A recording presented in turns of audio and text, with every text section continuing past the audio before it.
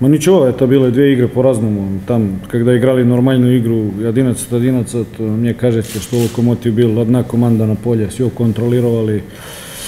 У нас было хороший пресс, хорошее движение мяча, моменты. Лантратов справлялся отлично этих моментов.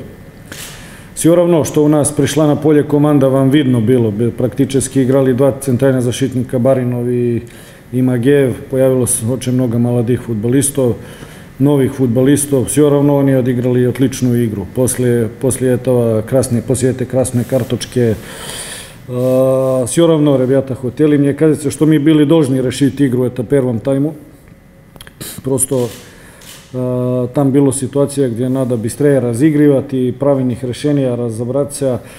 Поэтому что там было достаточно много ситуаций и моментов, когда надо забивать и решать игру. Но нам очевидно не хватит опыта на данный момент и сыгранности, как сказал, очень много молодых и новых футболистов на команде. Потом все равно старались, и меньшинство старались, хотели период, хотели выигрывать. Я могу похвалить команду за желание, что все равно и меньшинство хотели играть период сложных условий. Сегодня характер команды виден. Это что неплохо, плохо, что потеряли два очка здесь. И там было момент и в втором тайме, но не получилось. Все равно, к сожалению, Магеев получил тоже, мне кажется, серьезную травму. Очень жал. Он находится в хорошей футбольной форме, стал сборником России. Желаю ему, чтобы все получилось и чтобы все было хорошо. Надеюсь, что так и будет, но как выглядит сейчас, это плохая ситуация. Что случилось с Пабло перед игрой, почему пришлось заменить? Да, по Паблу тоже какой почувствовал, что, не знаю, там какая травма, что ли, с чувствия.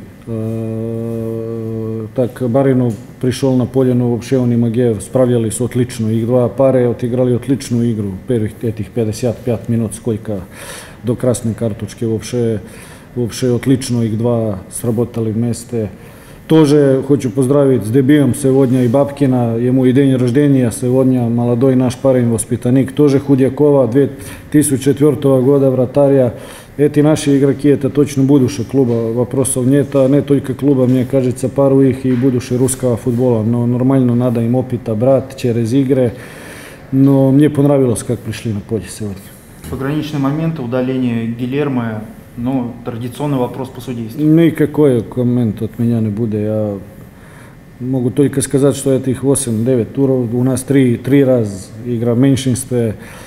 Давай остановлюсь здесь. Больше не комментировать ничего. Комментировала болельщики сегодня и атмосфера на стадионе. Мне кажется, говорит больше, чем чтобы я сказал. Лучше, чем чтобы я сказал, какая слова сегодня. Но если позволите последний вопрос от объединения United South. Считаете ли вы разумными и логичными действующие ограничения по количеству зрителей?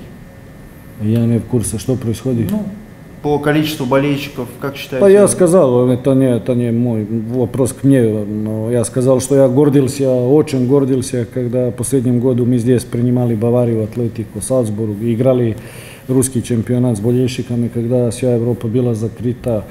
Это так было круто, так, так отлично, когда в футбол играешь с болельщиками. Мы все, что делаем, делаем для болельщиков. Нам, нам и всем, а особенно игрокам, все по-другому, когда болельщики тут или когда их нет. Так, я особенно для болельщиков, чтобы были на стадион, так просто сказать. А нормально, там есть специалисты, которые принимают это решение, с которыми должны, должны согласиться.